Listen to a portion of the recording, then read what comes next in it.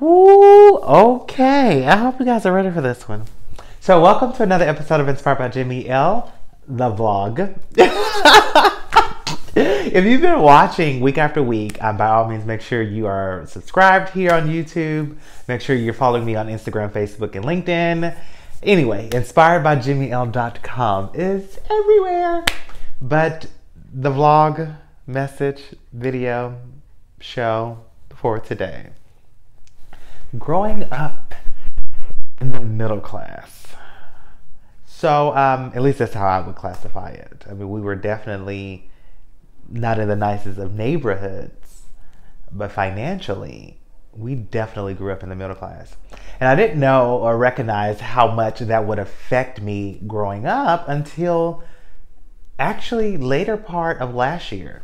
I was doing an interview with um, Evan Carmichael, and I asked him a question, hell, and it made me ask the question of myself. A question about how difficult it was growing up in the middle class. Because Ed Mylett, if you're not familiar with him, go check him out. But Ed Mylett has this philosophy that people that are growing up in the middle class that are wanting to be successful, they find it a little bit more difficult. Crazy. I, that's what I said. Exactly what I said. Oh my goodness. So I get it now, but his philosophy is growing up in the lower class, you're pushing because this is not what you want. You know where you don't want to be, and that is fuel, fire pushing you to get out of that situation or get out of that territory or get out of that particular environment, okay? Growing up in the lower classes, it can be used as fire to push you. Growing up in the upper class or higher class, all they have to do is model success. People around them have businesses and different 401k plans and they, they speak about IRAs and investment opportunities and, and investment properties and, and, and what to do with your money. So even if you're in the higher class and you fail, you can literally put yourself back in that situation, back in that environment, and simply model the people around you that have already figured it out. OMG! But the middle class, you don't have that fire pushing you because your home life is not bad. Grew up in a nice home, you know. Um, you had clothes on your back, food to eat at school, probably went on some family vacations, probably had more than one vehicle, didn't have to catch the bus, and the list goes on and on and on. And so you find comfort in that. So you don't have anything pushing you. And then uh, on the opposite end of that, you don't have anyone around you modeling success either.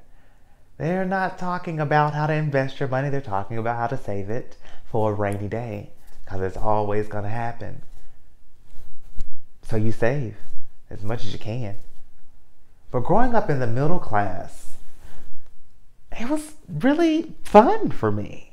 I loved it. And again, it wasn't until I, I did that interview with Evan that I was able to realize that that is a huge reason. but I'm not probably further along than what I am. Because I appreciated what my mom did for me. I appreciated what she, she offered me. And at the same time, we live a relatively comfortable lifestyle. Right? So growing up in the middle class for me was um, comfortable. No complaints, no arguments, no hatred, none of the above. And so, yeah, that's it. Boring. Boring stuff, I know. Sorry, but not really. That's